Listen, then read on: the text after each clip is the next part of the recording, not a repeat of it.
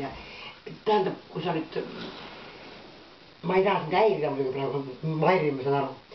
et kui ma bussi peale minekuni äkki tuled, istud, istud mulle, et, et ma ei jääks magama mis kell sina sinna pead siis? no ma pean olema enne seitset, pean olema püsti jaamas. mis see kell praegu siis on? kell on praegu, jumal, kell on vähe, aga no mul on vaja, et ma üleval püsiksin, ta on viis läbi, noh.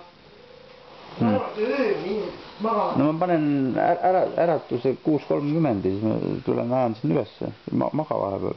ei, ma ei tohi. miks? ma tean iseennast, ma ei, ma ei tohi üldse pikali no mis sa siis ei jääd ju kuskil mujal magama? ma panen kuus kolmekümneks, siis on sul poolteist tundi magada, saad selle ajaga jõuad ilusti uuesti üles. ei, nii ei saa. no muidugi mine. ei, ma asjad panin kokku kõik juba ja sokid leidsid jah? Miks ma ei leidnud, muidu ma leian ei, ma mõtlen seal köögis, ma panin sinna selle poti juurde. ega see raketi teab ei ole praegu. aga ma panen kuus, no ma panin sinna. aga, aga on ikka? on, on. no loomulikult on. no kui ma ütlen, et on, siis ju on. no aga palun vaata siis avatud silmadega